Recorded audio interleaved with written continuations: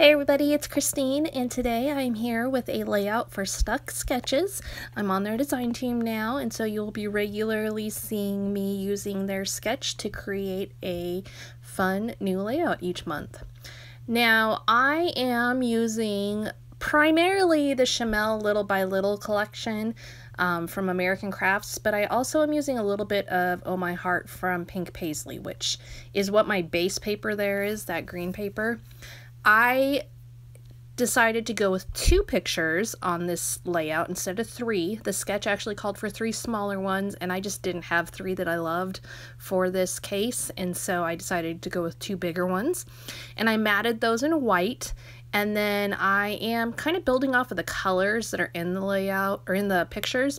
Uh, my dress is a green that matches the background and then I am adding in some yellows and pinks and reds and all of those were just based on one of the patterned papers from the Little by Little collection. I did fussy cutting with it and decided to just build on that color scheme.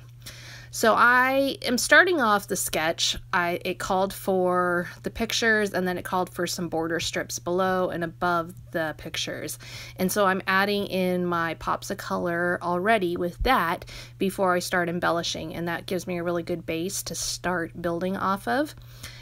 As you can see, I'm working in some pink and red, and I got some yellow in down below, but actually I end up pulling that up and I change it to a different thing because I just didn't love how the scallops looked.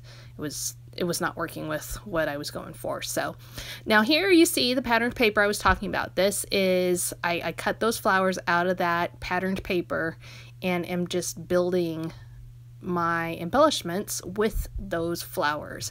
The sketch called for a circle right there in the top left corner above the picture and of course, being myself, I veered from the sketch and I am just building a cluster of flowers, not a circle, to highlight the spring feeling of this layout.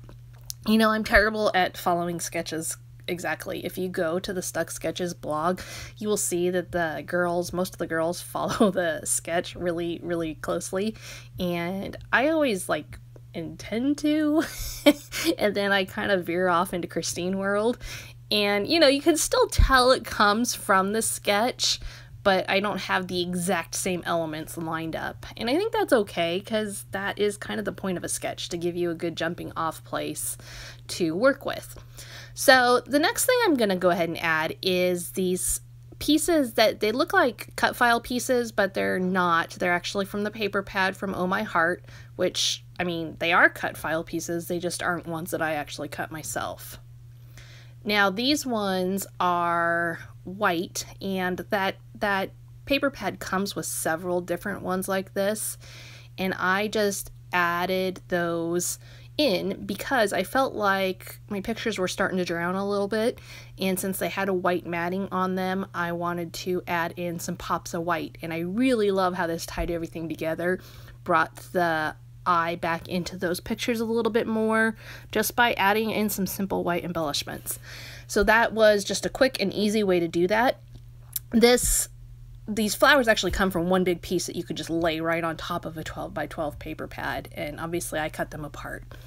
So then the next thing I'm going to add is my title, which again, in the sketch, it actually goes up above the pictures, but I the length of my title, it didn't work for that. So I put it below, and all I did here is I just cut out the word friends, and this also comes from one of the patterned papers from the Little by Little collection.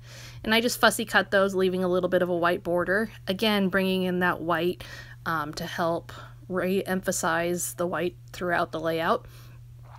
And then I am going to add in a few more fussy cut flowers. Uh, obviously, I needed a little more. That there was kind of lacking color in the in the bottom and side there, and so I cut out a few more small ones from that same patterned paper. Uh, they had some big options as well as small ones, and so that worked perfectly for this situation. And then I, as I said earlier, I changed out that yellow strip and I'm just going to add in a plain old strip. But then I'm also going to add in some sticker stitches from SRM Stickers. These just look like you did some stitching on the project and you didn't actually have to. They're just clear stickers, which is fantastic. And I added those throughout just as an embellishment.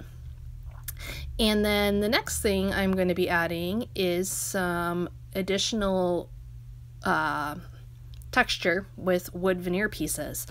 These pieces that I'm going to be using all come from Jillibean Soup and they make great wood veneer pieces so it was just perfect and I add in the word happy there and I'm going to just attach it with some adhesive dots from Scrapbook Adhesives by 3L and then I'm also going to add some hearts around the title there and really make the title a bit more of a focal point by that. Uh, just easy, simple way to add some really cute, fun embellishing. Um, the last thing I'm going to do is I am going to be just folding up my flowers and curling them a little bit to add some extra dimension to everything. And that is pretty much it. Uh, this layout, I love the spring look of it and I love the ladies that are on it and so it's going to be a special one to hang up in my room.